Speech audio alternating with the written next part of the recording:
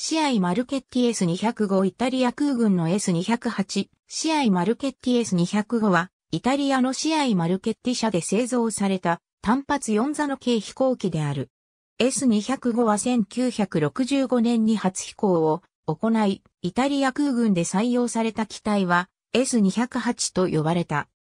S205 はシアイマルケッティ社の主任設計技師のアレクサンデル・ブレーナが1964年に軽量な汎用機を望んで考案したもので、これが全金属製、低翼、単発で4座の S205 となった。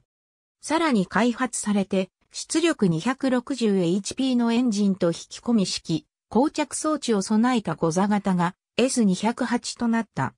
S206 と S210 も計画されたが実現されなかった。最初に生産された S205 から18回は1966年2月に初飛行を行い、翌年から納入が開始された。生産は1975年に停止されたが、1977年から1980年の間にイタリアの飛行クラブ、アエロクラブイタリアからの発注を受けて、さらに140機の S205 から 20R が生産された。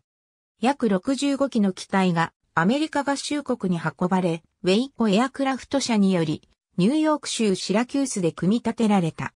当初これらの機体は、ウェイコシーラス、後に、ベラエス220と呼ばれたが、社長のバーガーが死去すると、米国内での S205 の組み立ては中止された。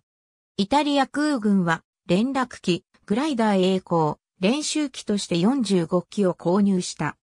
S208M と呼ばれる軍用版はアビオニクス、コックピットの側面ドア、グライダー栄光用のフックと増装取り付け用のマウントを装着可能である点が民間型との相違であった。最初に納入された4機は S205 であったが、後に S208 へ改装された。2機がチュニジアにも販売され、そこで練習機として使用された。 SIAI マルケッティ S205 この機種はヨーロッパ、アフリカ、アメリカ大陸、オーストラリアの約27カ国で登録されている。 Jane's All the World's Aircraft 1966、67。ありがとうございます。